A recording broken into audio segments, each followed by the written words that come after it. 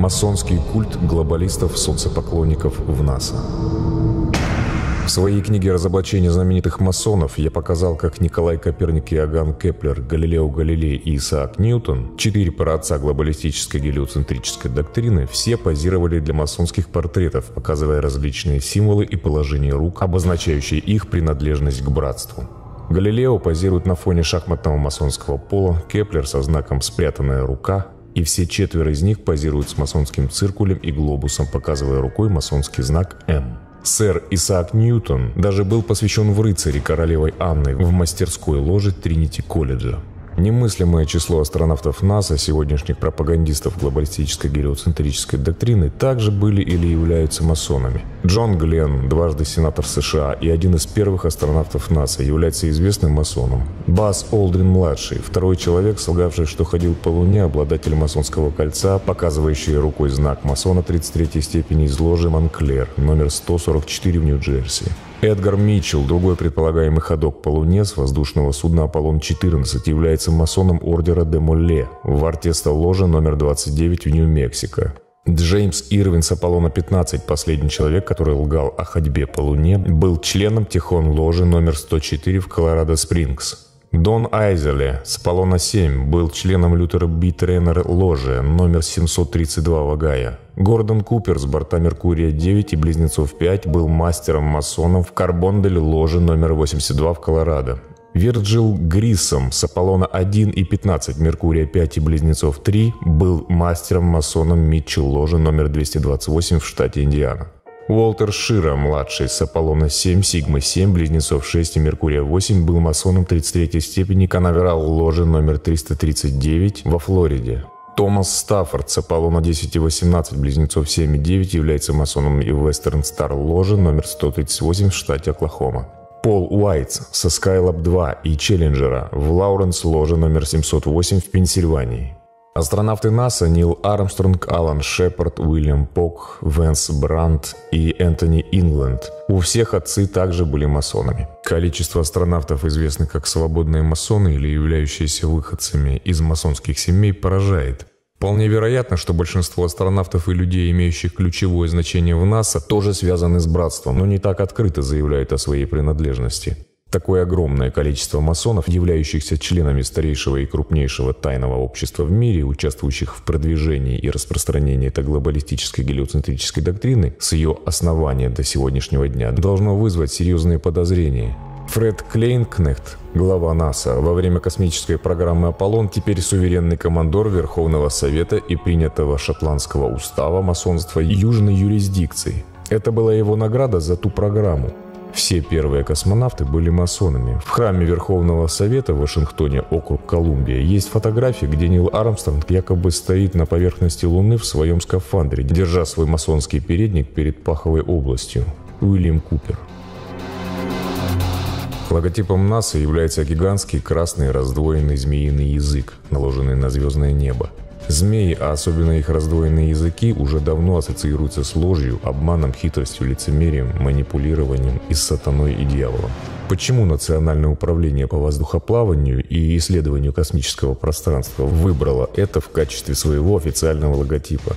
Организация Объединенных Наций, штаб-квартира правительства нового мирового порядка, построенная на земле, пожертвованной Джоном Рокфеллером, масоном 33 степени, представлена логотипом флагом, на котором четко изображена плоская земля, разделенная на 33 части. Есть 33 официальные степени шотландского устава свободного масонства, и флаг ООН показывает плоскую землю, разделенную ровно на 33 части. Почему основатели Организации Объединенных Наций выбрали логотипом флагом карту плоской Земли, разделенную на 33 части? Как получилось, что Фред Клейнкнехт, глава НАСА, вышел в отставку и сразу же стал главой 33 уровня масонства? Как получается, что все праотцы теории шарообразной Земли и многие астронавты НАСА все являются масонами?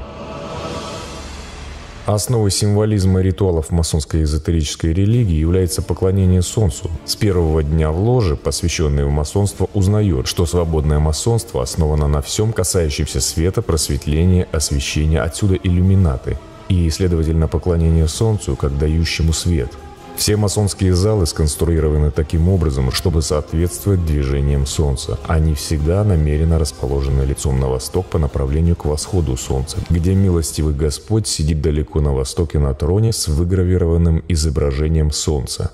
Большой масонский фестиваль проходит во время христианского Дня Святого Иоанна или 24 июня, иначе известного как День летнего солнцестояния, когда солнце приходит к своей самой высокой точке в году. Что касается масонского обряда хождения по кругу, говорит историк масон 33 степени Альберт Маккей, в масонстве всегда обходили три раза вокруг алтаря во время пения священного гимна.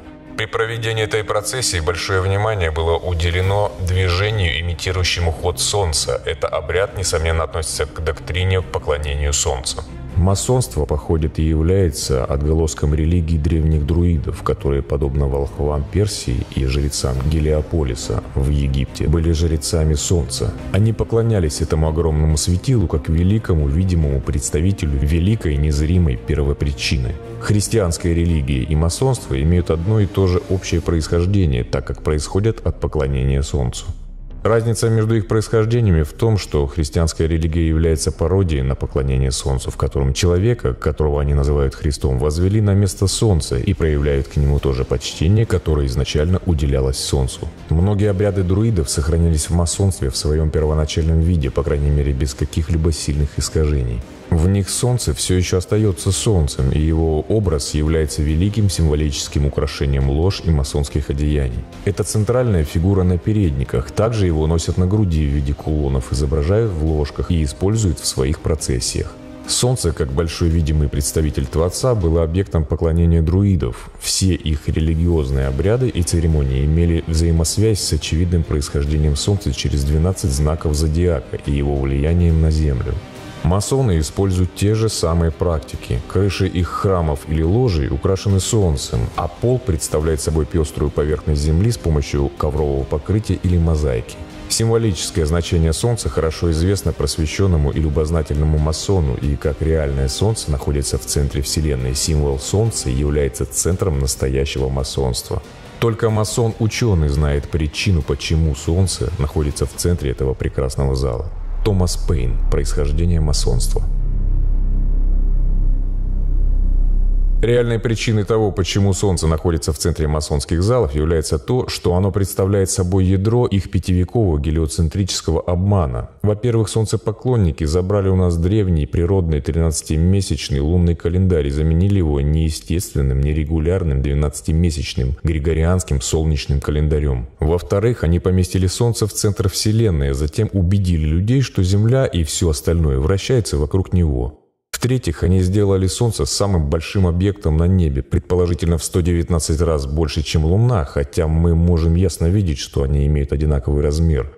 В-четвертых, они понизили Луну до простого отражателя великолепного света Солнца, утверждая, что Луна не имеет собственного света. И, наконец, в 1969 году солнцепоклонники на борту корабля «Аполлон», названного в честь греческого бога Солнца, заявили, что совершили посадку на Луне, тем самым духовно и физически покорив ее.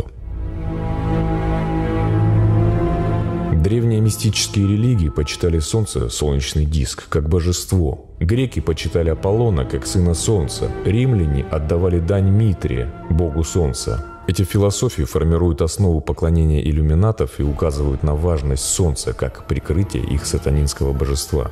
Сегодня масоны, как это делали еврейские старейшины, отступники и священники в дни Иезекииля, продолжают поклоняться сатане под прикрытием бога Солнца, известному также под такими именами, как Люцифер или Баал, и под другими именами. Яхбулон – имя их великого бога, которое открывается масонам высших степеней. Два из трех слогов в названии Бу и Лон означают Баал и Он. Текс Марс – магический кодекс. Символ крылатого диска, располагающегося на видном месте над входом в масонские ложи, иллюстрирует солнечный диск с орлиными крыльями и двумя змеями. Этот древний символ, который всегда символизировал Солнце, был найден в египетской, шумерской, месопотамской, хетской, анатолийской, персидской, индейской, мексиканской и австралийской племенных культурах. Орлы также давно ассоциируются с Солнцем, так как они летают высоко, ближе всего к Солнцу и могут смотреть прямо на его свет – Золотые солнечные орлы находились на верхней части жезлов римских генералов, как знак превосходства над армией. В Египте Хорус всегда был представлен в виде ястреба с солнцем над его головой. Коренные американцы также связывали орлов с солнцем. Например, племя Абинаки, объектом поклонения которых был бог-орел Кисосен, вестник солнца. Символ нашивки миссии НАСА Аполлон-11 иллюстрирует орла, садящегося на Луну. На нашивках Аполлона-16 и 17 также изображены орлы. Символ Аполлона-13 иллюстрирует трех лошадей, тянущих Солнце за собой, что является ссылкой на древнегреческую легенду о Гелиосе, боге Солнца, путешествующему по небу на своей колеснице, запряженной лошадьми. В общей сложности НАСА якобы высадила 12 мужчин и 0 женщин на Луну. Поскольку Луна всегда ассоциировалась с женственностью и номером 13, Солнце ассоциируется с мужественностью и номером 12. Высадка 12 мужчин на Луну в очередной раз является символом масонского патриархального братства, завоевывающего божественную небесную женственность. За этим также стоит оккультная причина, по которой Аполлон-13 случайно взорвался 13 апреля в 13 часов 13 минут. НАСА было создано для того, чтобы сделать межзвездные путешествия правдоподобными. Космическая программа «Аполлон» навязывала идею, что человек может долететь до Луны и пройтись по ней. Каждая миссия Аполлона была тщательно отрепетирована, а затем снята на больших звуковых сценах на секретном испытываемом полигоне комиссии по атомной энергии в пустыне штата Невада а также на защищенной и охраняемой звуковой сцене в студии Уолта Диснея, в которой находился макет Луны огромного масштаба. Все названия, миссии, посадочные площадки, а также события космической программы «Аполлон» были отражением оккультных метафор, ритуалов и символики тайной религии иллюминатов. Самым прозрачным был фальшивый взрыв на космическом корабле «Аполлон-13», названном «Водолеем. Новый век» в 13 часов 13 минут 13 апреля 1970 года. Уильям Купер. Загадочный Вавилон. Так почему же на логотипах НАСА изображены змеиные языки и орлы, и почему такое большое количество астронавтов являются масонами? Ответом служит символ солнечного диска с крылатым орлом на пару вместе со змеей, найденный в каждой масонской ложе. Двуглавый орел является официальным символом 33 уровня масонства. Инициированные масоны на уровне 25 степени известны как рыцари медного змея, а на 28 уровне как рыцари солнца. Религия друидов, являющаяся предшественником современного масонства, была такой же, как у древних египтян, где жрецы правили из Гелиополиса или города Солнца, города, полного обелисков, построенных для их бога Солнца Ра. Египтяне верят, что дух их бога солнца Ра находится в обелиске, поэтому они поклоняются и молятся обелиску всегда лицом на восток три раза в день, если это возможно. Самым большим обелиском в мире является монумент Вашингтона, созданный масонами в честь президента Джорджа Вашингтона. Для того, чтобы понять, насколько важен обелиск для масонов, вам следует пойти на кладбище, где похоронены масоны, и посмотреть на большинство могил с могильными плитами в виде обелисков. Дэвид Бэй. Доказано, что масоны поклоняются Люциферу. Как Солнце было великим просветителем физического мира, так и Змей был великим просветителем в сфере духовности, дав человеку знание о добре и зле. И в соответствии с Библией вы знаете, кто дал человеку знание о добре и зле. Сатана, Люцифер. Теперь, если адепты знали, что Солнце является символом чего-то, что люди не поддержат, например, убеждение, что Люцифер, дьявол, является богом, которому они поклонялись, они должны были продолжать свой фарс, чтобы люди не решили прекратить поклонение. Потому что если бы овцы обо всем узнали, они больше не поддерживали бы их деятельности. Поэтому масоны должны скрывать свои убеждения от людей и прятать свое тайное поклонение в скрытых символах, чтобы религия Солнца процветала. Уильям Купер. Загадочный Вавилон. Культу Солнца приписывается позитивный характер. Этот культ был распространен в Древнем Египте, Месопотамии, Армении, Персии, Греции. Поклонялись Солнцу также славяне, ацтеки, индейцы Северной Америки. Поклонялись ему и на Ближнем Востоке, также среди великих цивилизаций Азии, в Индии, Китае, Японии, а также в Римской империи. Как правило, Солнце отождествляется с мужской энергией, с истиной и просветлением. Примечание переводчика. Первым человеком, представившим модель Вселенной с Солнцем в центре в 500 году до нашей эры, был Пифагор из Самоса. Пифагор также признается масонским историком как самый первый масон. Мастер-масон доктор Джеймс Андерсон говорит в своей работе «Защита масонства», что он полностью убежден, что масонство тесно связано со старой дисциплиной Пифагора, которая, как я убежден, в некоторых обстоятельствах вполне справедливо может претендовать на источник. Мастер-масон Уильям Хатчинсон в своей работе «Дух масонства» писал, что древние масонские свитки положительно свидетельствуют о пифагорийской доктрине и василидианских принципах, являющихся фундаментом наших религиозных и моральных обязанностей. Мастер-масон Уильям Престон пишет, что Пифагор был в числе первых масонов, но утверждает в своей иллюстрации масонства, что отчеты о братстве сообщают нам, что Пифагора регулярно посвящали в масонство, и, будучи должным образом посвященным в тайные искусства, он значительно продвинулся и распространял принципы порядка в других странах, которые он впоследствии посетил. Масонский историк 33 степени Альберт Маккей в своей энциклопедии масонства пишет, что по возвращению в Европу Пифагор основал свою знаменитую школу в Кротоне, дарийской колонии на юге Италии. Около 529 годах до нашей эры, которая очень напоминала то, что впоследствии переняли масоны. Его школа вскоре приобрела такую репутацию, что ученики стекались к нему со всех концов Греции и Италии, Основным догматом философской системы, который учил Пифагор, было положение о метемпсихозе и переселении душ. Он учил мистической силе чисел, и большая часть символики по вопросу, который мы сейчас изучаем, происходит от того, что было передано нам его учениками. Он был также мастером геометрии и еще считался изобретателем нескольких проблем. Школы, основанные Пифагором в Кротоне и других городах, были рассмотрены многими авторами как модели, которые послужили прототипами масонских лож. Ученики этой школы носили самую простую одежду при зачислении, отдавая все свое имущество в общий фонд. Затем они в течение трех лет предавались добровольной бедности, и все это время они также были вынуждены соблюдать обет строгого молчания. Доктрины Пифагора всегда преподносились как безошибочные положения, которые принимались без аргументов. До поступления в эту привилегированную школу предыдущая жизнь и характер кандидата тщательно проверялась, а в подготовительной инициации секретность была обеспечена клятвой. Жесточайшим испытанием подвергали его стойкость и самообладание. Тому, кто после зачисления был встревожен препятствиями, с которыми ему пришлось столкнуться, было разрешено вернуться в мир, и ученики, считая его мертвым, исполняли погребальный обряд и устанавливали надгробие в память о нем. Стиль жизни в школе Кротоны напоминал жизнь современных коммунистов. Братья численностью около 600 человек с их женами и детьми жили в одном большом здании. Они вставали до восхода, чтобы совершить поклонение солнцу. Их пища состояла в основном из хлеба, меда и воды. И хотя на столе часто присутствовали лакомства, никому не разрешалось их брать. Именно в этой тайной школе Пифагор дал наставление по поводу своей сокровенной доктрины и объяснил скрытый смысл своих символов.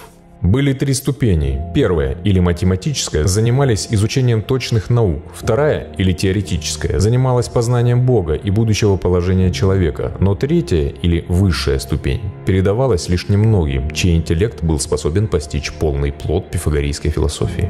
В дополнение к этим признаниям масонских историков, жизнь и творчество Пифагора во многом напоминали масонское братство. От его одержимости треугольниками и геометрией до его культа школы, полной обрядов посвящения и промывания мозгов. Кандидаты были жестко отобраны, так же, как и кандидаты в масонство третьей степени. Их вынуждали детально отвечать на множество личных вопросов, а затем они получали от масонов в ложе белый или черный шар. И лишь один черный шар означает недопущение или исключение кандидата. Если происходила инициация, пифагорийские посвященные должны были дать клятвы секретности и верности, а затем подвергались различным тестам, испытаниям и ритуалам, так же, как и в масонстве. Эта братья жила как коммунисты и поклонялись Солнцу. Со временем они проходили серию из трех ступеней, в результате чего только привилегированное меньшинство на высшей ступени узнавали правду о символах и ритуалах. Многочисленные параллели пифагорейской школы и современного масонства слишком похожи, чтобы их игнорировать. К счастью для мира, гелиоцентрическая модель Вселенной Пифагора не имела большого успеха в течение почти двух тысяч лет до того, как другой предполагаемый масон Николай Коперник 27 лет своей жизни трудился над созданием своей обновленной модели под названием Солнечная система, которая также утверждает шарообразную Землю, вращающуюся вокруг Солнца. Рожденный в Пруссии в 1472 году, Коперник изучал философию и медицину в Кракове и стал профессором математики в Риме. Последние десятилетия своей жизни он стал одержим идеями Пифагора, и когда он впервые представил свою гелиоцентрическую доктрину миру, она была осуждена как ересь, из-за чего он был заключен в тюрьму и выпущен только после отречения от своего мнения. Он опубликовал свой знаменитый труд о вращении небесных сфер в 1543 году, в год своей смерти, и даже тогда настаивал на гипотетическом характере своего мнения. Коперник писал, Учение Пифагора было основано на гипотезе, которая не обязательно должна быть правдой или даже вероятностью. Гипотеза о движении Земли является полезной для объяснения явлений, но ее не следует рассматривать как абсолютную истину. Такое устройство Вселенной, которому учат современные астрономы, основано исключительно на теории, истинность которой они не в состоянии подтвердить ни одним настоящим доказательством. Они укоренились в заговоре молчания и теперь отклоняются от ответов на любые возражения, которые могут быть представлены представлены в отношении их гипотез. Сам Коперник, который возродил теорию языческого философа Пифагора и его главный последователь сэр Исаак Ньютон, признались, что их система вращения Земли была лишь предположением и не может быть доказана фактами. Только их последователи украсили это именем точной науки. Да, по их мнению, самой точной из всех наук.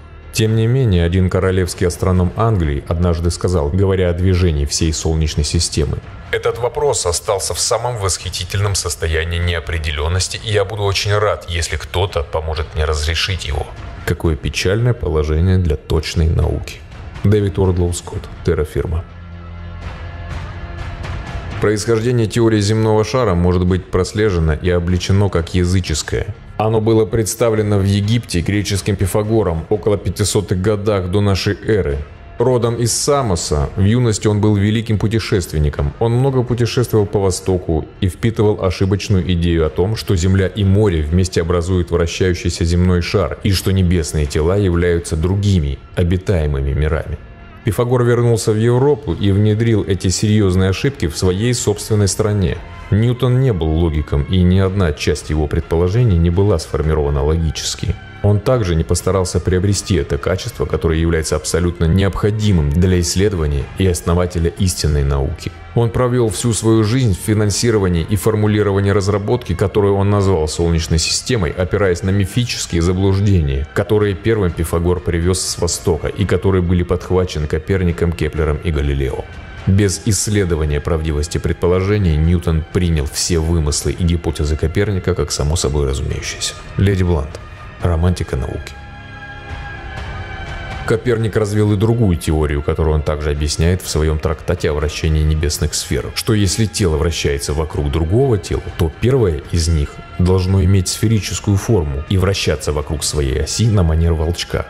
Следовательно, для того, чтобы сделать это понятие связанным с движением Земли вокруг Солнца, которое он замыслил для объяснения сезонов, он вдруг объявил, что Земля круглая вопреки общему мнению того времени, а затем провозгласил, что она вращается вокруг своей оси. Большим неудобством в этом предположении является то, что вращение Земли не может рассматриваться как существующее в связи с положением Солнца или облаков в течение дня, или Луны и других планет ночью. С другой стороны, факт неподвижности Земли имеет большее преимущество по сравнению с теорией вращения, потому что он, предположительно, может быть распознан как таковой. И можно спокойно сказать, что если незаметно движение Земли, то существует 100 шансов из 100, что она не движется. Габриэль Генриет. Небо и земля.